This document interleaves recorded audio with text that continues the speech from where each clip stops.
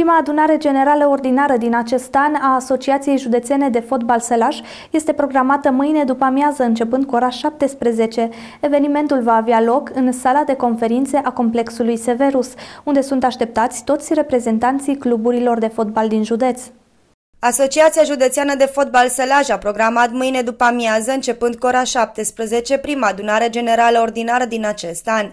Membrii afiliați la AJF Sălaj sunt așteptați în sala de conferințe din incinta complexului Severus în cadrul evenimentului, urmând să se discute despre partea a doua a campionatelor Ligii a patra și a cincea, dar și a celor de copii și juniori. Vor fi dezbătute și probleme privind arbitrajul, dar și subiecte legate de modul de desfășurare al sezonului viitor. Asociația Județeană de Fotbal Sălaj uh, susține fenomenul fotbalistic, respectiv uh, fotbalul, la nivel competițional, adică asigură cadrul legal de organizare a competițiilor pe raza județului Sălaj în materie de Liga a 4 Liga a 5 copii și juniori și chiar uh, republican prin, mă rog, aceste centre care le avem la uh, viitorul și la, la, la FC Zalău și la, FC, Atletic, la FC Zalău Atletic Uh, prin faptul că colaborăm cu ei și sigur că da, din copiii care le au la grupele de CDE promovați, le asigurăm uh, consultanța tehnică necesară.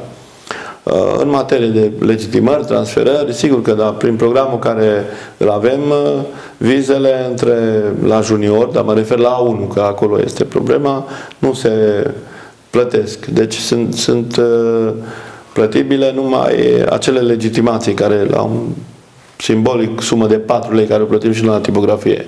Dar în rest, vize, transferuri și așa mai departe, pentru că vrem să susținem activitatea de copii și juniori. Dar uh, unii și-au, s-au șmecherit și aici ca să demonstreze la oficialitățile locale că fac și, se, cum, și sigur că da, uh, ei se ocupă, cer cu nemiluită să le estimăm.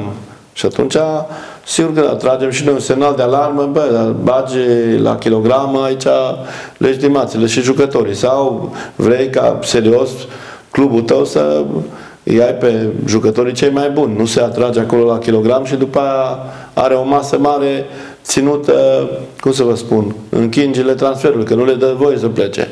Tot în cadrul întâlnirii de mâine se va discuta despre noua competiție organizată de AJF Sălaș, Cupa Primăverii, eveniment ce va avea loc la baza sportivă Titan Arena, situată la ieșirea din Zalău spre Crișeni.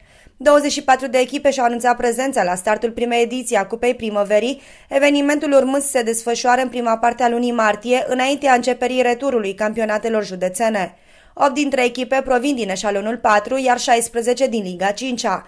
Pentru formațiile din Liga 4 care vor fi împărțite în două grupe, competiția este programată în perioada 4-5 martie.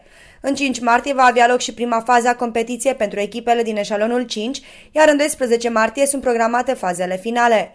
Conducerea AGF Laj a stabilit datele la care va începe returul campionatului, Liga 4 urmând seria în data de 12 martie, iar Liga 5 o săptămână mai târziu.